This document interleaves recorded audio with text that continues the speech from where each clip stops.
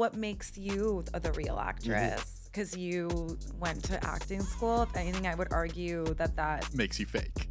yeah, like you tried a little too hard at, at something that came very naturally to me. Welcome to Popcast Deluxe. You are straight out of Castello Norado of Weekly Cultural Review. I'm Jon Caramanica, a critic at the New York Times. I'm Joe Coscarelli. I'm a reporter at the New York Times. And I'm Julia Fox, that girl. No arguments there. This week, big guest episode. Uh, Julia Fox on our original list. Like what people don't know, when we started this, Yep. we had a wish list. Yep. A, about a year ago, we Yeah, yeah. started this show, Wish list. and we Julia said, Fox. "Yeah, you you might have been like it was like Barack Obama, Julia Fox. Yeah. it was like our no, dream genuinely. guests. That's amazing. Because for us, we want people who touch various corners of culture. We want people who show up in a lot of places who can talk educatedly and informedly about a lot of different stuff. Oh. So, right off rip, phenomenal. Yeah, and your resume has only gotten longer in the In- year in that the- we've been doing this show. I know. Um, crazy. So you've been doing your fashion show on E. You're a video podcast veteran. Mm-hmm. We'll get there. Uh, you have a new song, Yeah. Down the Drain, named for the title of your memoir. Yep. uh, came out last year, and recently appeared in the music video for Charli XCX's Mm-hmm. 360 as that girl. Yeah. Right? I mean, I'm like, girl. so all these things are connected, but you seem to have been doing music lately. Like, first, just give us the backstory of the Charlie song, because she also mentions you Mm-hmm. in the track. You're just looking at me. I'm everywhere. I'm so Julia. Uh, uh, uh. When you're in the party, bump, bumping that beat. Six, six, six with a princess streak. I'm everywhere. I'm so Julia. Did you know her previously? How did she play this for you? You know, I think that she had already been working on this song when we were still kind of just like acquaintances. okay. But I always knew that she, you know, thought highly of me because, you know, she would say it in interviews and stuff. And I would reciprocate because I've always been a huge fan of her. Like, I think she just makes people feel good. And that's amazing. And um, I also just like love British girls. Like, Okay. they're really down to earth. They don't take themselves too seriously. They have a really good sense of humor. Whereas I feel mm-hmm. like Americans are a lot more sensitive and like passive aggressive. Like British people kind of just tell you what it is. And, Okay. You know, like even the way they talk to each other, they'll be like, yeah. F- that." you know, it's like if they did that here, it'd be like, "Bro, you want to fight? You know, like it's just like Right. the Also, the fighting in, in England doesn't actually have anything to do with how they talk to each other. They're yeah, just yeah, fighting. yeah, yeah. They're just fighting for They're it. just fighting for For fun, fun, which It's is sport. also such a vibe. Yeah. Um, Tell so us. anyway, I loved her, and she told me she was gonna shout me out in this song, and and then asked me to be in the video, and obviously I said yes. What about her? Oh, Charli, that's that's literally Julia Fox. Yeah, sorry. Did you know it was going to be this table full All-star of- team, Yeah, yeah. like a. I didn't really of know girls anything through the through the years. Yeah, I didn't know anything, but I was, you know, I trust her. I trust her vision, and whatever she wants to do, I'm I'm down. So you didn't like show up to the table and you're like, oh, I'm beefing with so so and so. No, no, no, no, I don't, and I like don't beef with girls. Like Okay. girls can beef with me, but I'm not gonna beef back with them. Like it's no. Was I there don't do anyone that. in that video? Because obviously, over the years, I'm sure you've had opportunities I whether it's know to all work of with. them. Right? Is there Yeah. a particular person or or one or two people who you were like, I'm so relieved to see that person here. That's or that person makes me feel much more comfortable about this entire. Well, I love Chloe. Cherry. I had her on my podcast Yeah, sure. like two years ago. Um, I love Rachel Sennott. We both had our big breakout roles in the same year, and Mm-hmm. I forgot what award show we were at, but we like met at that award show, and we were both like, you know, just nobodies at the time, and so it's really cool to meet there and then meet again. You know, now that we've both come so far, and that's always really amazing. Um, I love Gabbriette. Mm-hmm. Been a huge fan of hers. I mean, every, you know, obviously Richie Shazam, but you know, that's like your that's my or die. bestie. Yeah, yeah, so Richie, like, you know, that's a given. Um, but like, yeah, everyone was amazing. And then Chlo- and then The Chloe. Chloe. shows up, right? Yeah. As the sort of Well, I wasn't there that day. Oh, it was different Oh, day. separate yeah, different. 'cause she wasn't at the table. Yeah, with you. so a Right. lot of the girls I didn't even see uh-huh. at all. Right. But it's still cool to be in the same video. Do you think in terms of lineage? Because obviously, one of the things about that video that really jumps out at me is it's really there's your timeline, there's your lineage, it girl lineage timeline. Yeah. So when you're looking at yourself as part of that, how does it like? How does it make you feel? Do you look at someone from the Chloe Sevigny generation and think like, okay, that's a path for how I can be in the world, how I can move through the world? Yeah, it's cool. I mean, I think I think Chloe was like, you know, one of the first like it girls that could be represented on the internet, you know, because Kids was such an amazing Mm-hmm. movie, and you know, to be even in the same conversation as an icon like that is like, Were you thinking of yourself that worthy? way? even but even before this video, were you thinking of yourself with all the sort of steps that have led up to this? I mean, As, I don't like, a role I, model I type thing? always kind of like just thought of myself more as like an anti it girl. Mm. You know, like I don't want to conform to like I don't know. I'm I'm just I'm very like low key anti establishment, Mm-hmm. and I don't like those like terms that can be coined and just like used to sell something. So I feel like I'm an anti it girl, but Okay. Mm-hmm. But still an it girl nonetheless. Right. You can't you can't fully run from Mm, no, the, ti- yeah. the It title. can't beat the it girl Yeah. allegations. But No. you do like you do have like a bob and weave quality to your career. Like I feel like a lot of people were first introduced to you through Uncut Gems. Mm-hmm. and- I told you about how things were gonna go. You like the way things are going now? That's my family. book comes out a couple years after and it seems like every time you like almost get like too big then you swerve again. And like and now we've landed at this music moment. Like has that been a conscious effort to avoid like quote unquote going hollywood or Definitely. following mm-hmm. a, whatever the path set for you by like a boardroom of agents and managers? Like what Because I think I just always want to be like more underground, or like that's just my that's where I lean because that's what I've always been, you know, kind of like in on the fringe and like in my own little subculture and not really like uh, the mainstream doesn't speak to me and I don't think I speak to the mainstream. Like I just don't think we're each other's audience is, you know. But there was definitely a moment where it seemed like you could have gone in that direction. Like I'm thinking of like a band or a pop star. Like, do I sign to a major label or not? Like, were there people who sat you down and said like, we can make Every you the next? yeah, like here's the Every three year plan if you want it, Yeah. basically. every day. Yeah. Yeah. Like, start, what- start a makeup line. I'll invest in your makeup line. I'll invest in your clothing line.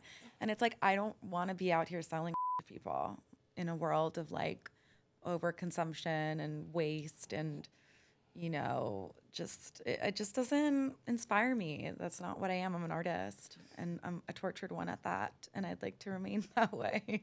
You also say something in the book that um, I think it's maybe when you're telling your mother that you get the part and that you'd gotten the part in Uncut Gems, and you were sort of like, "I'm gonna be famous," and then you sort of, as an aside, say like, "I'm kind of like a hood celebrity already, Yeah. but like this is different." yeah. As that arc was happening, and then you're going into the rollout of the movie and the press and all that stuff. What was the sort of point where you realized like you're maybe less tethered to that grounding level of like local celebrity, hood celebrity, like the people's champ? When did that? st- When did you start to feel distant from that? I don't, I'm, I don't feel It distant never from went. that at all. you never felt like you got pulled too far away. or like it was slipping away. You're like, No, no, who no, am like- I and where am I? No. Really? I'm, I'm in New York. I'm in the Yeah, you're outside. No, they love me here. Mm-hmm. I can't, I literally can't walk down the street. So mm-hmm. Was Yeah. there were there offers like in the Uncut Gems aftermath like that were tempting to you to like well, I don't know if you remember, but the pandemic happened Yeah. Right a month after Okay. Gems came out. right So anything that I had on the table went away for two years, and then I had a baby, right and then I was kind of like couldn't travel, couldn't Sure. do anything. So that's when I started the podcast because I like needed something to do where it could be like safe and I wouldn't be contaminating anybody or con- putting my child at risk. sure And then so the choice was sort of made for you yeah, but that it was changed everything. right but it was the choice you would have made anyway you think No, because I had moved to LA right after Uncut Gems, and we had all these plans, and I was going to do all these things. And then in March or February or whenever it was, when like I think everything shut down in February, but then it officially shut down in, In like March. mid-March, yeah. Yeah, then I just came back home and got pregnant a month later. What do you think that sliding doors moment would have been? Like, what did you foresee for yourself? You know, I don't know, but I'm so happy it went down this way Mhm. because I'm so happy I chose to become a mom right then and there because really it would have been the only time that I could have dedicated to doing it and doing a really thorough job at it because Right. I had nothing else going on. Whereas now I'm traveling every other day and, you know, it's a constant headache of the travel plans for the baby, getting the nanny for the baby. But your your son appears in your new music video. Yeah. Do you try to keep those parts of your life no, separate, or no. you're, you're I, all in? I think that he, you know, I here is, you know, I feel like parenting in America is like, it's like, uh, it's really separate. Whereas, like in Europe, for instance, it's very normal for a child to go everywhere with their parent, even if it's out late at night or even to a bar. It's not considered like, you know. sure.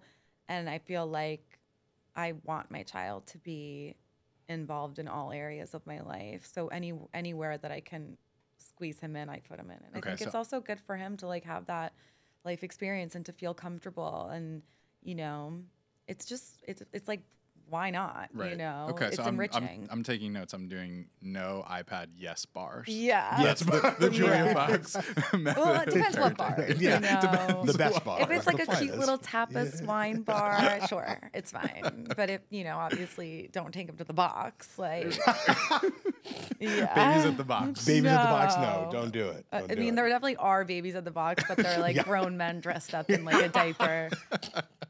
Yeah. Um, do you feel like parenting and motherhood changed your relationship to adventure and impulsively going after because one of the things that comes up over and over again in the book is a willingness to sort of be like I don't know where this road's going to go, but Yeah. we're we're getting in the car and we're going spiritually or metaphorically. How did parenting evolve that in you as a person? I have to get my kicks some Yeah. way. You know, like I don't party anymore. I don't. I'm literally with my kid 24 seven. So, you know, I have to get my thrills through working, and so I always, I'm always trying new things. Sure. And I never want to limit myself. But obviously now, like, I, I have to remain grounded because I have Responsibility. a yeah. human that depends on me. Yeah. So I can't just like disappear for, you know, or like go on a crazy road trip or move to the bayou or whatever I've done in the past. Like I can't, obviously can't do that anymore. hmm When you were putting all that stuff down in the book, I mean, one of the things, obviously, you've been documenting things for more, way before this book. You've been documenting things for a long time in your life. When you were sort of doing all the recollecting and putting it all here, did your perspective being five to 10 years older, looking back on some of that stuff, did your perspective change on it? Did you feel wistful? Did you feel regretful about how did you view the events that you're talking about? I don't really regret anything because I'm a very big believer in like your path and your journey and your fate. And like, I always say that, like, out of the most horrible things, like, the most beautiful things are Mhm. born. So, anytime anything is happening to me, I know that once I have more pieces to the puzzle and I see the bigger picture, it'll make sense, you know? And I also think it's good to just have something to push against, you know? Like, it's good. It, it gives, if you're handed everything all the time, like, it just kind of like makes life less desirable to live mm-hmm. because you're not, like, for me, like, I always have to prove something, and that's what I'm pushing against. So that's why maybe I do the most or like, you know, whatever, but that's just what keeps me going. But also, it comes up. It does come up a few times in the book how you're sort of you'll have these encounters where you're like, I think these people, whoever they are, are not gonna like me, Yeah. or no one's gonna show up to the art gallery opening, or so on and so forth. And then time and time again, you're proven wrong. Yeah. And I'm sort of surprised because I would think certainly, like you say, like the queen of downtown, like you know what I mean. At some point, maybe you would think, okay, they will show up. Okay, they do like me. I don't but think that those hasn't voices that hasn't ever sunk go in. away. Really? No. Like I still get stuff like that all the time. I just think uh, doesn't everyone though like have the like little voice in their head Sure. that's Sure. like, Or "You like, suck. this time is You're gonna be the fail." time that yeah, they know I'm You've a gotten really lucky this Yeah. far, but Yeah. this time Mm-hmm. it's over for you. Like I'm it's irrational. And I'll even be like, no, this is like super irrational and like the data proves that this is not possible, you know, but like you still think it. I don't it's like childhood trauma. Mm-hmm. It's hard to undo that if that's like how you were always made to feel as like an outsider, like the black sheep, the underdog, the like weird one, whatever. It's like it's hard to dismantle that. I think even you could have so much success and so much whatever, but I don't think that ever goes away. Do you feel that, like, as an actress now, do you feel like you're on steady footing? Like, are you going on auditions? Are you No, like, I'm working a lot. I'm filming a lot of movies. yeah, like, do you Yeah. feel like, I feel good. I feel like I think for a while it got a little crazy and I got a little I don't know, I feel I didn't I don't like lose sight of myself, but like I lost a lot of weight and I was just like I think I was just on a spiral. Like I was unwell, you know. I was like mourning the loss of the relationship with my son's father. I was dating people that I shouldn't have even been in the vicinity of. Like it was just you know and now i think i'm really back to a place where i feel like grounded again and i feel like okay i'm reprioritizing i know what i want to do um you know i'm just like you know making more art showing up for myself eating properly mm-hmm. sleeping properly but but acting is definitely part of that piece of a puzzle of Yeah, what you want to do because i think it's interesting Yeah. like it's such a difficult position i'd imagine to be in where your breakout role is playing a version of yourself Yeah. Mm-hmm. like that's one thing like Yeah. you're really good at being yeah Julia julia, Fox. fox, Yeah. and maybe a heightened version of yourself or a version of yourself from three years ago or whatever it was but there mm. was a lot of you in that role right Yeah. even though you you write it as you write in the book like it's actually harder to act like what you think the director's version of you is Right, Oh, that's you know? interesting. Yeah. like Yeah. it's it was actually like so much harder i was like it's like wait, who do you think i am Right. you know because obviously it really wasn't the, me through yeah the looking glass yeah so i mean it was definitely still acting and it was really it just felt so weird because it's like so close to home but then again also not and it's just like a weird space to be in but now you feel now I do. Like at the time, I was like, I'm not worthy, and now I'm like, no, I'm definitely worthy. You know, just because I didn't get my um, practice in acting roles doesn't mean that I didn't get them out in the world in real life, which sure. I think is actually like stronger. What do you have coming up that you're really excited about like i know Well, I just got back from New Mexico last week. I was there for a month and shooting a film um, called Him. Um, and it's a Jordan Peele Monkey Paw production. Right. It's like a psychological horror thriller film based about based on like American football. And I play um, Not the band. this band. aging uh, what? not the band american football No, is that a band? No, I don't know. I literally can't no, believe not you the said band. that. I, actually cannot believe you said that. I really, I couldn't help it. I couldn't help it. You know, uh, Unbelievable. once an emo kid, always an emo kid. I couldn't. I never thought we would mention the band American Football on a podcast That's with Julia funny. Fox. Phenomenal. But but here Great we band. I for what love it's worth. that. I'll have to check them out. Yeah. I don't know. Uh, but ab- but about about a football player. yeah, about like an aging out football player. I play his wife. Okay. And um, he's recruiting the next, you know, greatest of all time Okay. football player. But there's some shady dealings going on with the franchise, and you'll just have to watch it. What is it like to be on set now when you're not in the local scene? Like you're not with people you've known. Like you're not. I know obviously you've done stuff in yeah, between. I've done other stuff like, where it wasn't like. I mean, nothing will ever be like shooting Uncut Gems, Sure. you know, because I was really there with all my friends, in front of the camera and behind the camera, and it just, you know, and even as I was filming it, like all the hair and makeup team were like, "Girl, this is not what it's like, so don't get used to it." Like this, And, then- and then you're like Steven Soderbergh. Here I am. I'm Julia yeah, Fox. Yeah, yeah. But like everyone could tell that there was a really special vibe and energy on the set, and everyone knew that the film was going to be huge, and it was, you know. Right. Um, so I'm still trying to like top that or Sure. like be known for like something else that isn't that. Um, but obviously, it's so grateful. Like I'm so happy to be known for that. It's a huge honor. I've got to imagine in Uncut Gems, on some level, you know you're playing someone's version of you, the real Mm-hmm. person, but then you're thinking, well, this version of me, many people will conflate with the actual me. Yeah. So you're being mindful and like sort of protective of the character, maybe, and then also reverse protective of yourself. But if you're in someone else's vision altogether, it's probably more liberating, I would assume. Think it's an evolution, but it, it still comes from the same place of just like wanting to release and you know finding different avenues, different channels to release.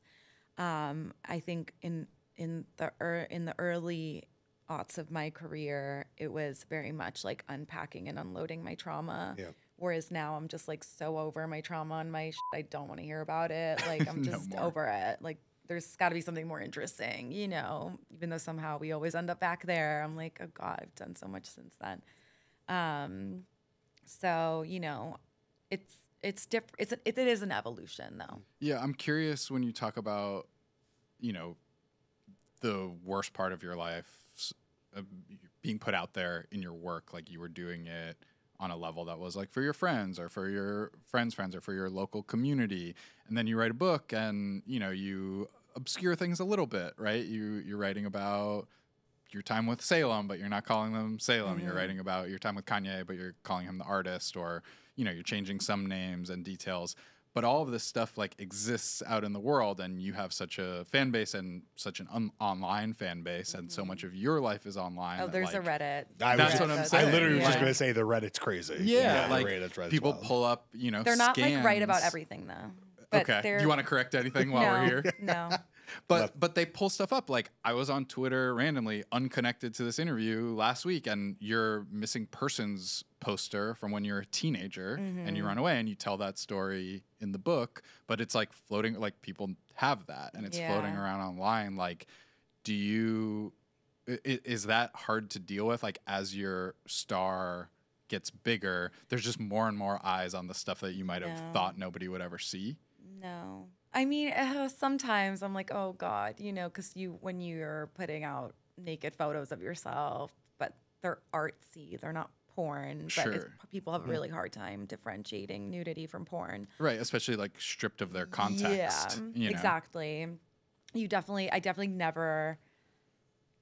You know, I, I, I, I don't want to say that I never thought that a wider audience would see it. I just don't. I think I was just so living in that in the moment at the time, like really like survival mode day by day, that I don't think I even.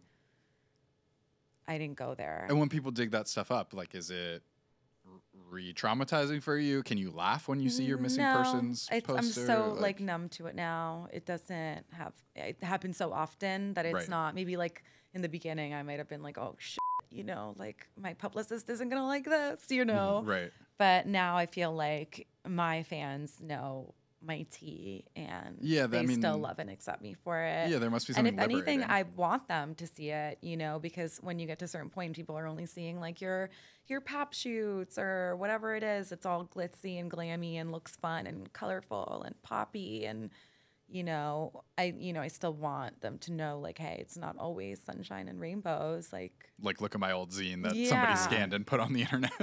God, don't don't look at it though. Yeah. but, But- yeah, look at it because you know you you can see there's a real human behind all this. I mean, you it's know? your voice and Yeah. those. I mean, and, and one thing I remember in the later chapter of the book where you're talking about the uh, the early days with Yay and you know Ye calling Mel and the write up, and then his associate submits a different write up, and you're like, this doesn't sound like me. But it, but that, but that scene to me is very much like, look, I am down to be documented. I'm avail like the public uh, Yeah. thinks they know me in an intimate and vulnerable way.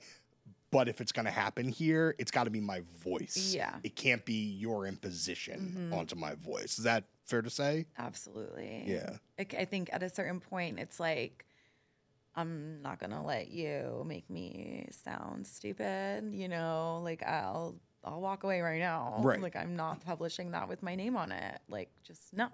You know, I could draw the line somewhere. Right. We're calling Mel. We're Yeah, call- we're calling Mel. exactly. Don't run it. And that seems like it's part of that goes back to your point about you're an indie artist. You're not mm-hmm. a mainstream artist Yeah. like that, and you want that full creative control, not to people, not people to put Absolutely. to project their version of you Yeah. on yourself. Like, Mm-hmm. when do you feel like you fully wrestled back total control of your image? Was it after that it was paparazzi actually relationship? after yeah definitely because um he, you know it was actually a blessing that he came into my life because he kind of like shook up my team in a way where a lot of the creative control was then given back to me. Whereas I feel like for a couple of years there, even though nothing was really going on because it was the pandemic and whatever, but I would still feel this pressure to like pretend to be this like Hollywood starlet that I like wasn't.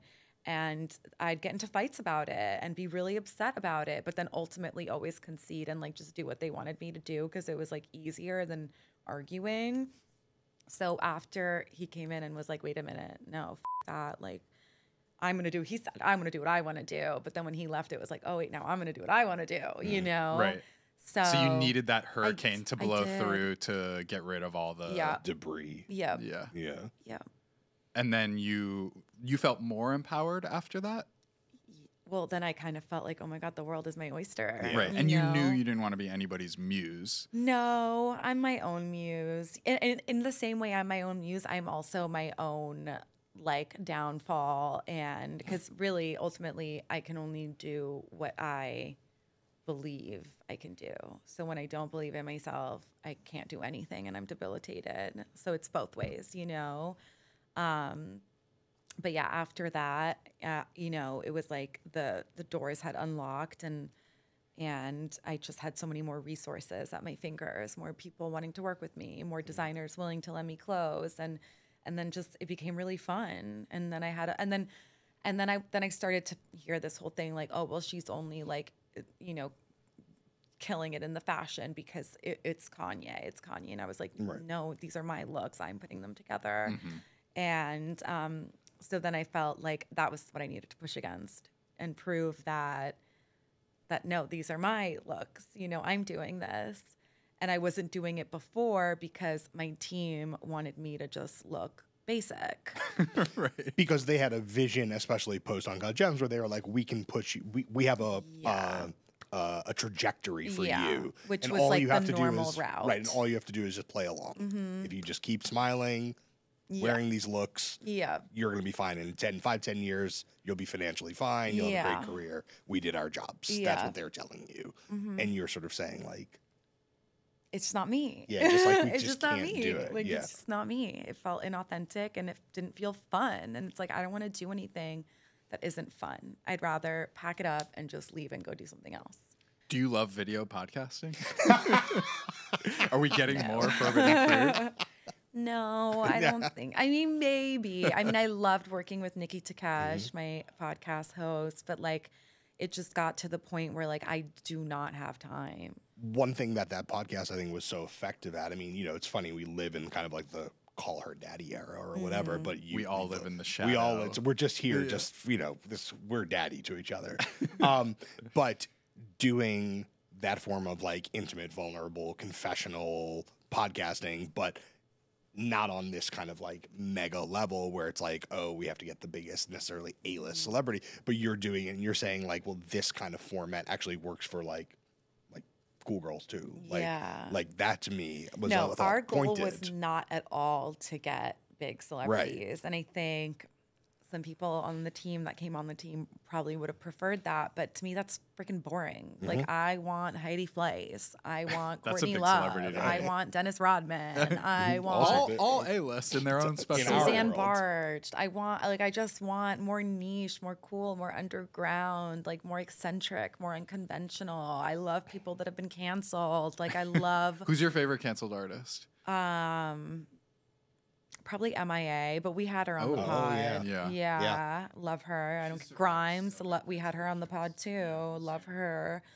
Um yeah, like I don't give a shit. Like that's just what I find interesting, you know? And it's like I'm not gonna waste an hour of my life talking to someone I don't find interesting. Yeah, you want tension.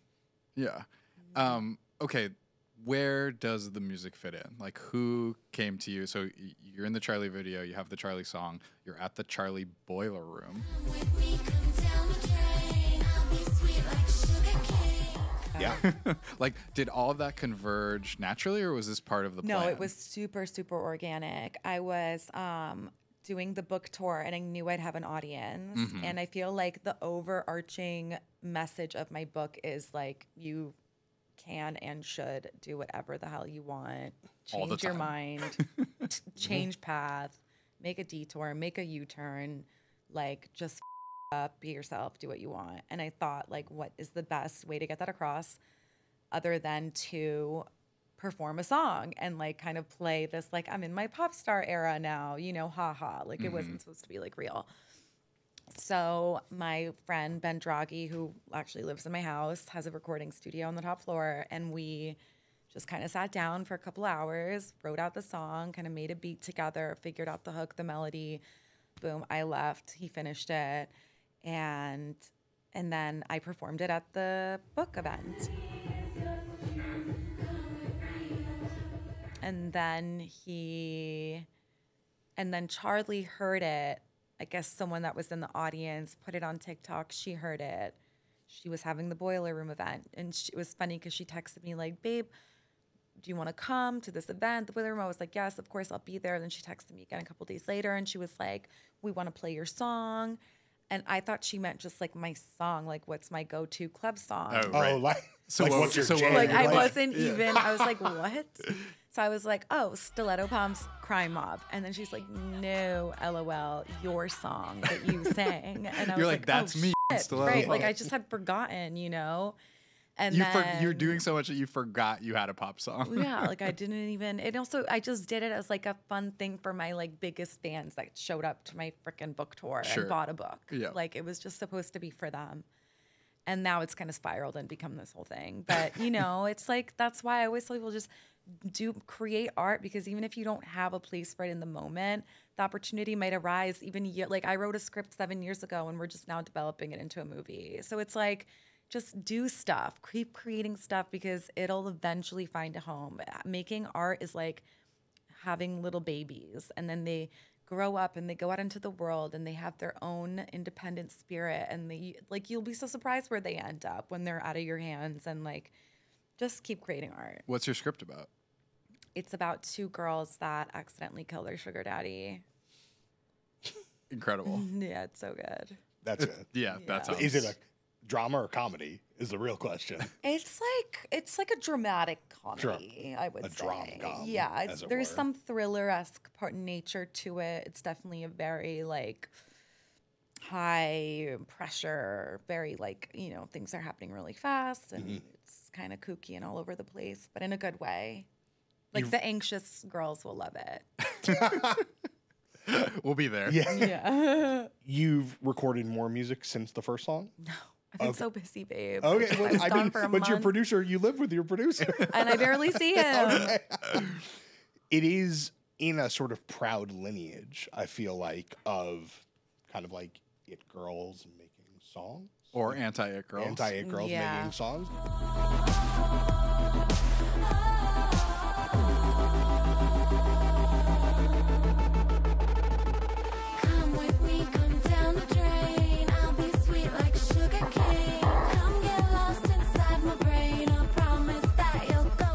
Sort of like schooled in the Paris Hilton Stars Are Blind. Oh my Blind? God, I Lindsay loved that Lohan, album when Lindsay she Okay. put it All right. out. Rumors. So we have a we have a little playlist for you. Okay. Can we run through a couple of names and just Okay. give a vibe? Do you want to Yeah. hear the songs, or you probably know them? I them? will say them, and if I don't know them, Okay, you so play talk, let's talk Paris Hilton Stars Are Blind. Okay. This is probably But the- the jealousy was a good one too. Oh, oh, you like the deep cut. Damn, deep cut. Yeah.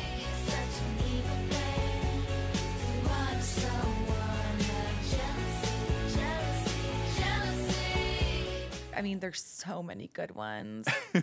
Yeah, Like you- Paris, Paris Hilton to me is sort of like the Ne Plus Ultra Yeah. of someone in Yeah. this space making songs that, in their specific moment when they came out, people were like, "I can't believe this happened," and then five years later, everybody was like, "Well, that was a classic." Yeah. that was an absolute. I have friends who whose wedding song was "Stars Are Blind." oh my god, that's amazing. Okay, so Paris, you're uh, you're, You're all, all in in on, on y- Paris. Yeah, yeah. Oh my god. Lindsay Lohan rumors.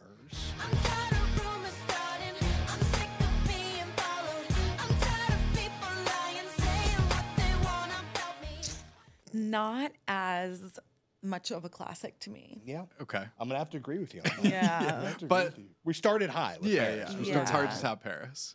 Um, where are you on Addison? The music career of Addison Rae. Who was at the boiler room with? Yeah, Yeah. Um. Obsessed is the big single Yes. from last year. You say you're obsessed with me, so I took a second and I said, Me too. I'm obsessed with me as much as you.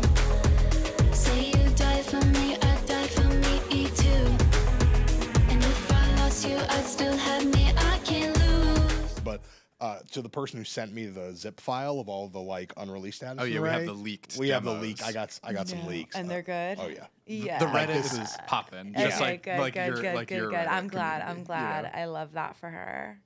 Um, Kim Kardashian jam. You up on this? Oh, I like it like ironically. Yeah. You know what But I mean? you remember it. You Yes. know oh my these. gosh. DJ played my jam. What, What? what was it again?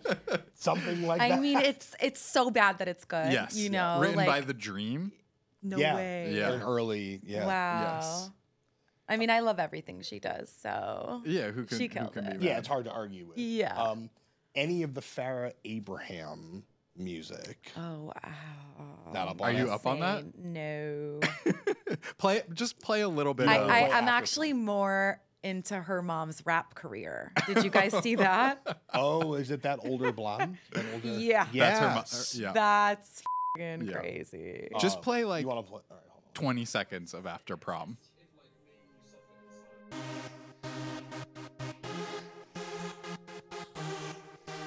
It's aging really well.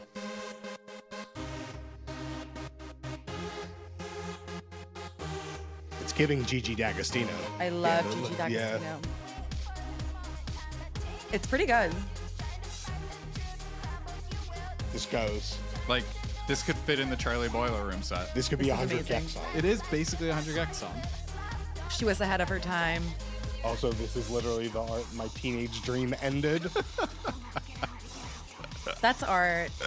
That's really art. Shout out Farrah. Abraham. That's a masterpiece. Great. I'm Yes, down. Yes. And the final one, Naomi Campbell, You know Naomi Campbell had an album. Love and Tears. Why is don't the I know this? Came out in 94.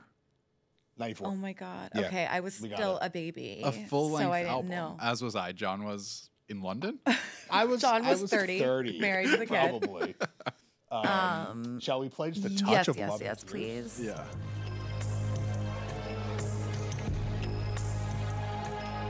Kind of like it.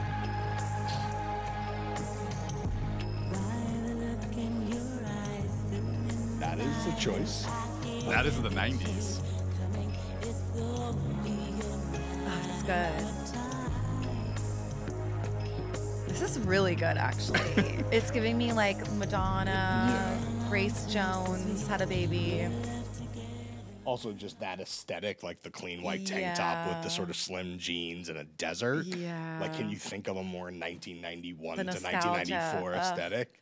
All right, the Renaissance. Cindy Crawford was starts watching this and now. be like, "How come nobody gave me this song?" We're bringing we're bringing this album back. We're gonna get it printed in like limited Vinyl Me edition Please. vinyl. You really you like the should. fancy Vinyl Me Please, Bob. You Yeah. really should. This is a- reunion tour. I'm gonna have to like post a TikTok video with this as the sound Please do. and beat you guys to the punch. That's fine. That's fine. people We're need to know. To, re- People we're need to happy to, know. retweet. like, and how did. I not know? Um, this is our jobs. I'm really glad we could Thank introduce you, you. to. I'm gonna the lis- literally music listen to the entire thing. I love Naomi Campbell. She's ugh, a dream. like just knowing that like all these people who came from outside the music world Yeah. and one day woke up and said, "Today is the day I become a pop star. album." I make a I- pop you know. I don't know what it is about.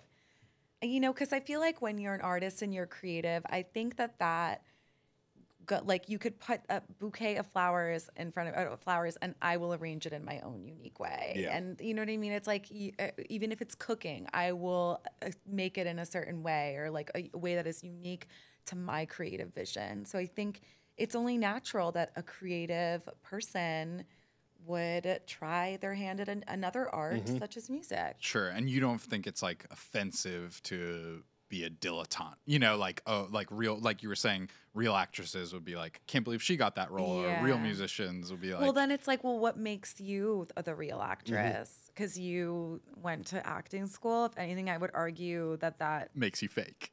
yeah, like you tried a little too hard at, at something that came very naturally to me. You're like, I didn't need any Yeah. schooling. Yeah. yeah. Uh, that's great. Have you have you heard the remix of Down the Drain that is chopped and shoegazed?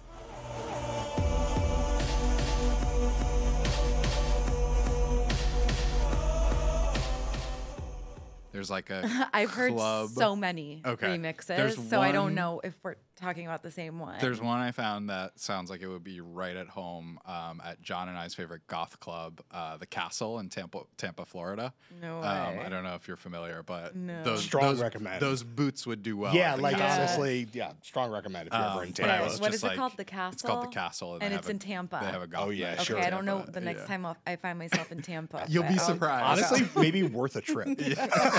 worth a we'll all go. Yeah. Maybe we book you a show there. Yeah. It's Okay. A genuinely Okay. incredible nightclub. I love that. Um, but the, yeah, this this this version would, Would go play there. hard. Yeah. Okay, I had a question because we obviously we were talking a little bit earlier about media and like you know, in the Ye moment you have this interview magazine moment, but I- I know the New York that you grew up in, downtown media, whether it's old interview, paper magazine, et cetera, et cetera. I wonder when you were in your teenage years.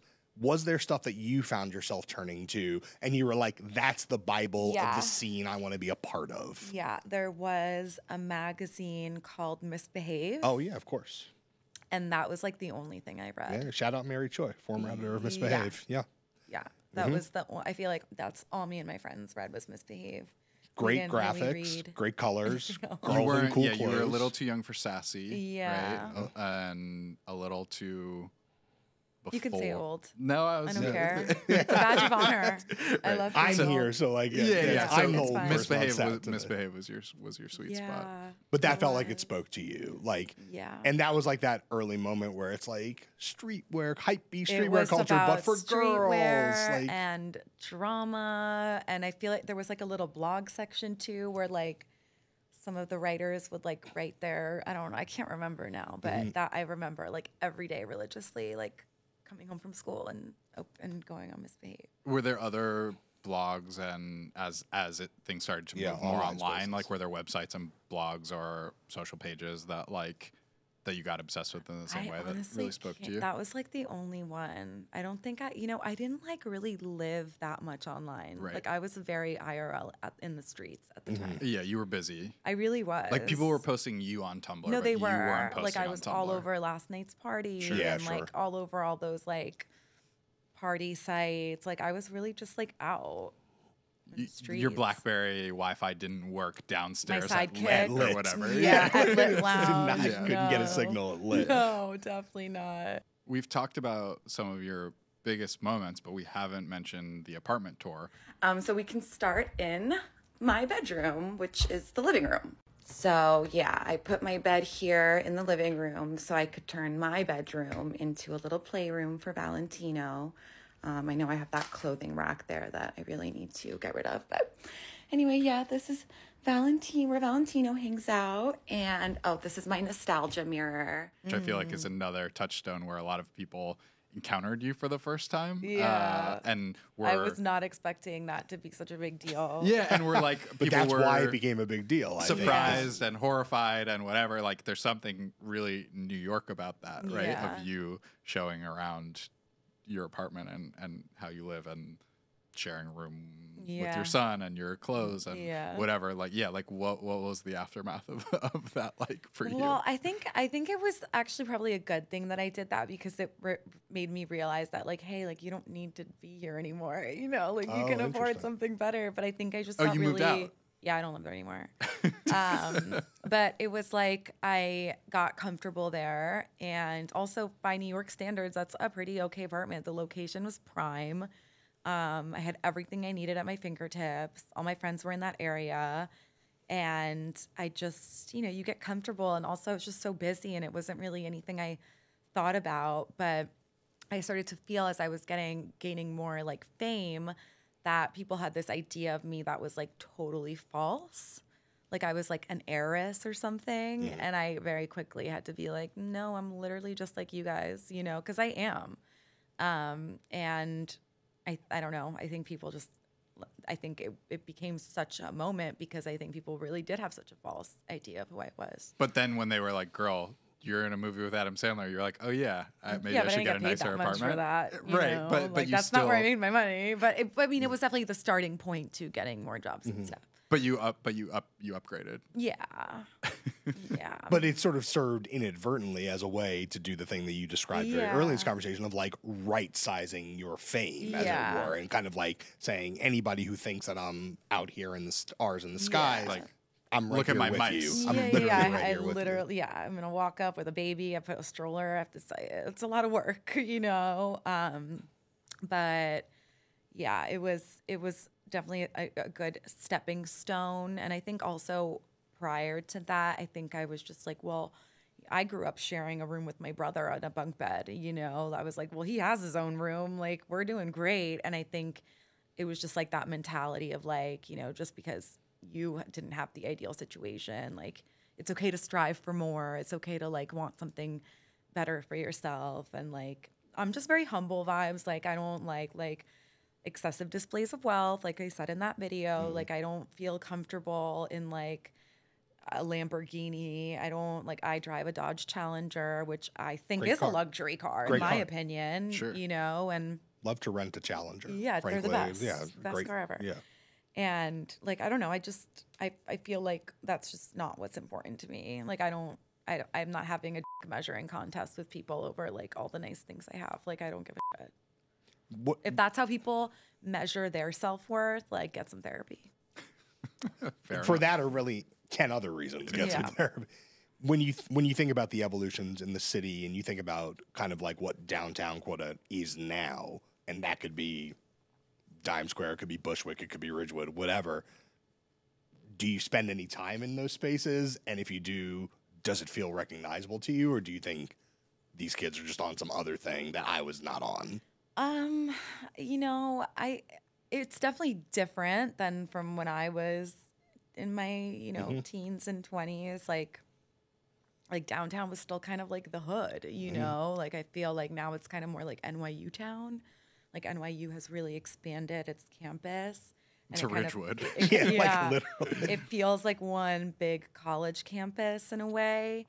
Um and you know, and that's great and it's all fine and dandy, but I definitely don't feel like I really like fit in that much anymore. you're like they're out here calling the west village just west village like what is happening You've Oh my seen that on TikTok? No. oh it's in oh it's bonkers like I'm in West Village. i'm in west village look at the, the look of horror I- on I- your face. Yeah. The first time I saw someone do it on TikTok, I was like, I had to be a mistake. You know, it's like you see the first one, and you're like, ah, it's just this one person.